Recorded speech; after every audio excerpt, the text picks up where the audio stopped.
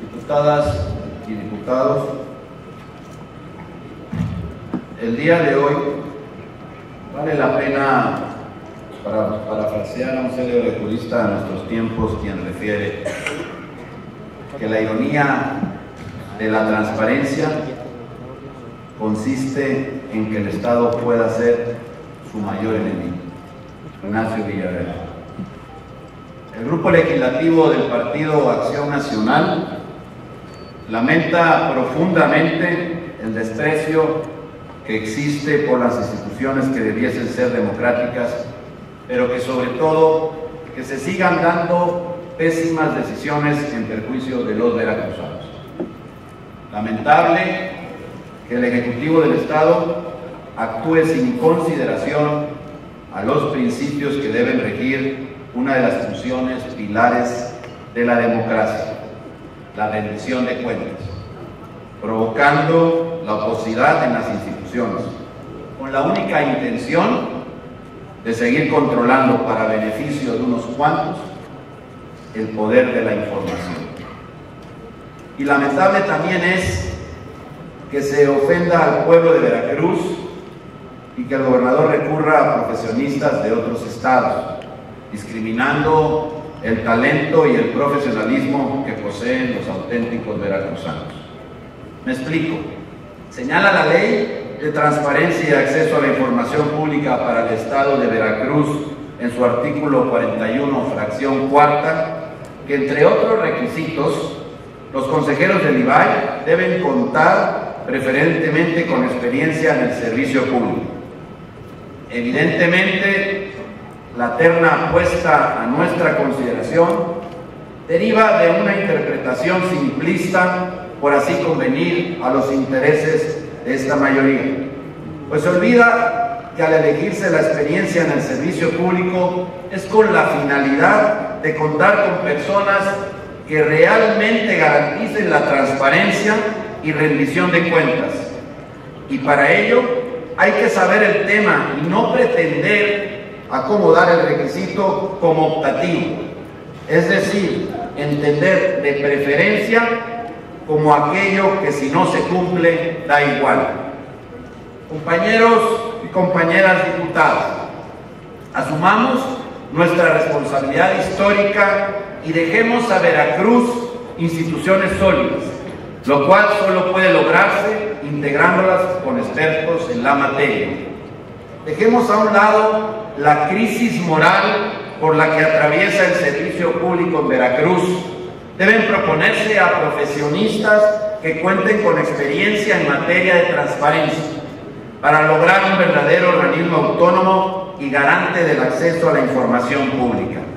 Por lo anterior, quien llegue a integrar el consejo del organismo no puede ser cualquier profesionista, sino un experto de la materia. Con respecto a la ciudadana Yoli García Álvarez, carece del perfil necesario para exigir desde la trinchera del IBAI la rendición de cuentas y transparencia que requiere el Estado de Veracruz.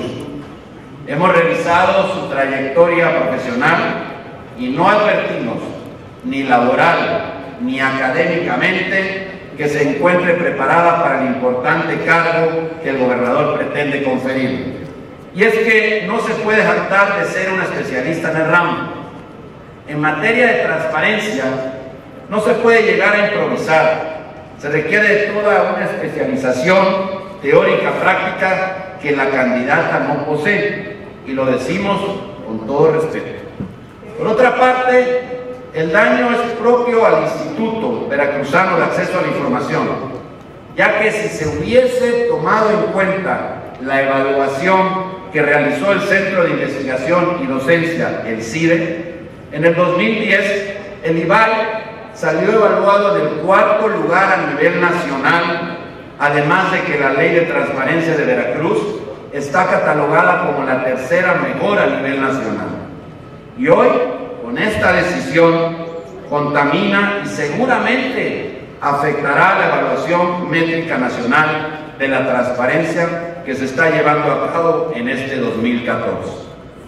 Reforzando lo anterior, la incompatibilidad entre la nula experiencia de la próxima consejera, votada aquí por una mayoría, y la paulatina profesionalización del IBAI es parte del retroceso y deterioro institucional que seguramente veremos en los próximos meses.